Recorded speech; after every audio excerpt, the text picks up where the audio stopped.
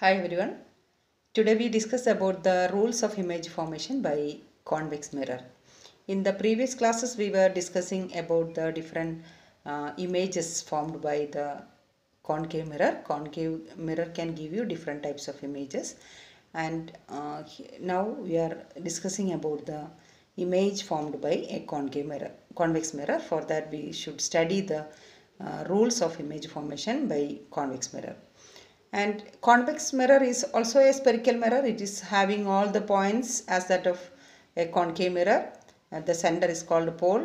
And the f is the focus of the mirror. And it is also having a center of curvature or the center of the sphere from which the uh, small reflecting surface of a convex mirror is taken. So these all points are similar to that of a concave mirror. And here i'll show you the ray diagram with the, all these points on it so here we have a convex mirror. Here bending surface is the non-reflecting side and bulging out surface is the reflecting side. So this is the bulging out area that is the reflecting side. So we should keep always an object in phase with the reflecting side or the not here on uh, the other side on the left side. So left, left side is in phase with the non-reflecting side of a mirror. So we should keep the object always to the left of the mirror. Here left side this part or the reflecting side is coming on the left of the mirror. Okay, so we should keep the object always on the left of the mirror. And here this is the first rule here you can see a ray which is parallel to the principal axis. So AO, AO is an incident ray that is parallel to the principal axis of the mirror. This is the line. This is the imaginary line passing through the center. We call this as the um, principal axis. So I can name it XY. So XY is the principal axis and here the incident ray is AO. AO is parallel to the principal axis. And what happened to the A, ray AO after reflection? So definitely this ray AO will undergo the process of reflection and that will satisfy the condition of reflection. So as per the laws of reflection, reflection will take place for the uh, incident ray AO. And after striking the mirror at uh, this point O, the ray will passes through ON. So this is the direction of movement of the ray after reflection. ON is the direction. So this is the incident ray and this is the reflected ray. Clear. But that reflected ray is appears to be coming from a point principal of principal focus of this mirror. So when we look from this side, this ray, the reflected rays appears to be coming from this point F of the mirror. F means it is a principal focus. So this is the first rule.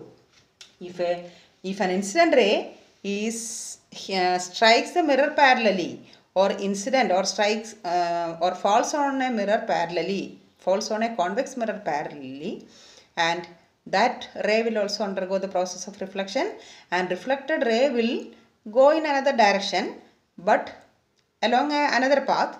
But when we look from the reflecting side of the convex mirror that ray is appears to be coming from appears to be coming from from the point f of the convex mirror. So these all points are uh, coming or these all points are lying in front of the non-reflecting side of the convex mirror.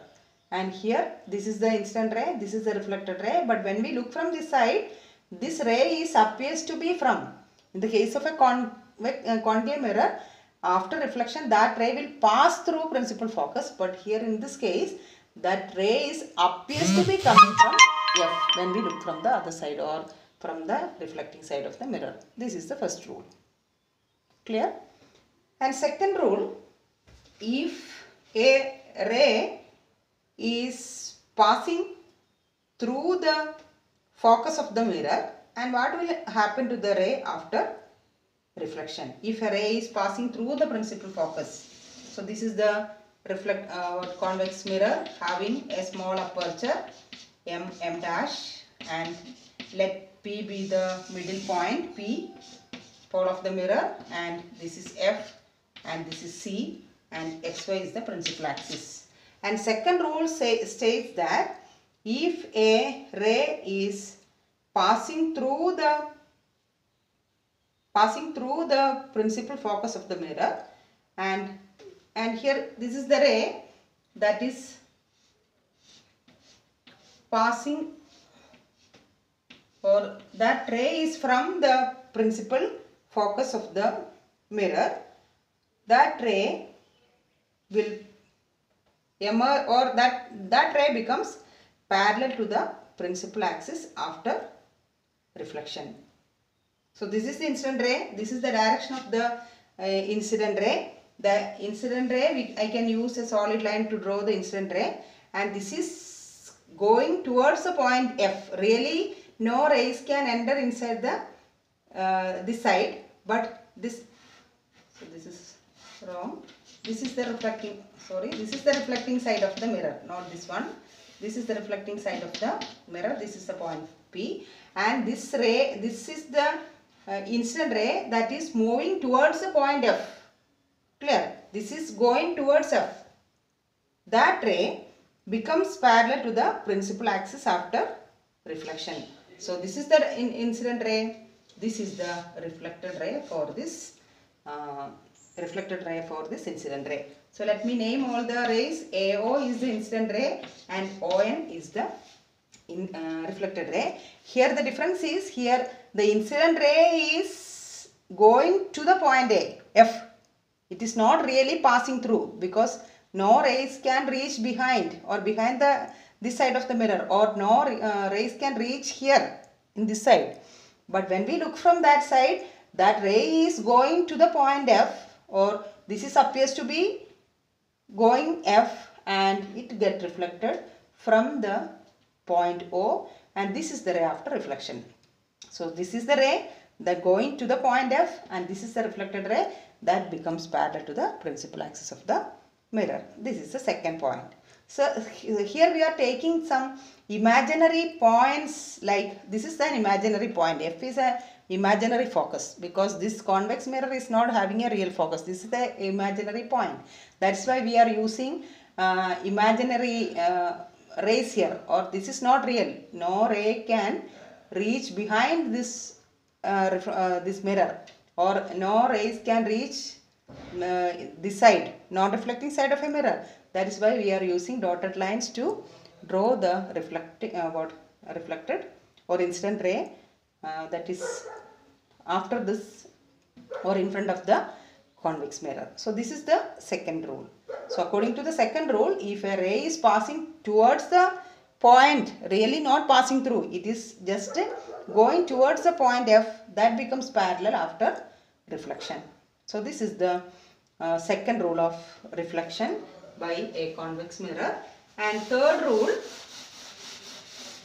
that is same if a ray is passing through the center of curvature of the mirror what will happen to that ray if a ray is passing through the center of curvature mm dash let mm dash be the aperture and p is the pole of the mirror f is the principal focus and c is the center of curvature of the mirror and let xy be the uh, principal axis of the mirror. And what happened to the ray? If a ray is passing through the uh, center of curvature of the mirror.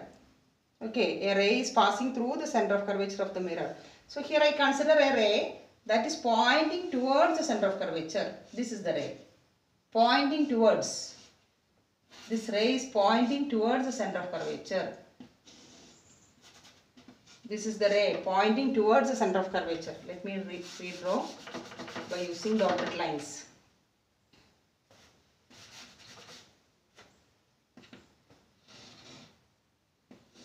this is a ray pointing towards the center of curvature of the mirror. So this is an incident ray, AO is an incident ray and this ray strikes the mirror at this point and from here this ray will traces backward and this is pointing towards the point C and it reflects back along the same point. So in the figure you can see only one ray that shows both incident ray as well as reflected ray. So this is the third rule. If a ray is passing towards the point, not through the point, towards the point C, because no rays can uh, really pass through C, because C, F, all these points are coming at the back of the mirror or non-reflecting side of the mirror in the case of convex mirror. So no light ray can reach really behind it. So we are telling that if a ray is approaching to the point C or it is um, going towards point C that traces back along the same path but in opposite direction. So that is the third rule. Okay and similarly fourth rule if a ray is uh, making some angle with the principal axis or making an angle with the point P with the same angle that ray will passes from the convex mirror. So that is the fourth rule. So by uh, using these four rules we can find this is the final rule. If a ray is making some angle with the principal for uh, this um, what making some angle with the principal axis or some angle with the point P that ray traces back by making the same angle here I is equal to R. This is the fourth rule. Clear? So I'll repeat all the four rules. First rule if a ray is parallel or pa uh, parallel to the principal axis that ray becomes that ray is appears to be from the point uh, f of the mirror principal focus of the mirror. And second rule if a ray is passing through the passing to the principal focus becomes parallel to the principal axis after reflection from convex mirror. And thirdly if a ray is mm, going towards the point c we cannot say that passes through f passes through c like that because these all are approaching to a particular point because these all points are behind the mirror. No light ray can reach can't reach behind the uh, reflecting side non-reflecting side. So from the reflecting side all the rays are getting reflected but when we look from that side of the uh, reflecting side of a convex mirror these all rays are appears to be from these different points from the pole or from the center of curvature. That is why we are using appears to be from the point C if a ray is approaching to C coming in a uh, path that is going to the point C that traces back along the same path but in opposite direction and if an incident ray makes some angle with the principal axis of the convex mirror definitely that ray undergo the process of reflection by making same angle with the point P or same angle with the principal axis of the convex mirror. So these are the different rules of image formation by convex mirror.